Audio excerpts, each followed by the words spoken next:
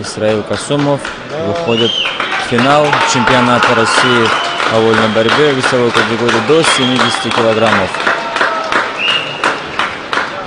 Да, это была зрелищная борьба.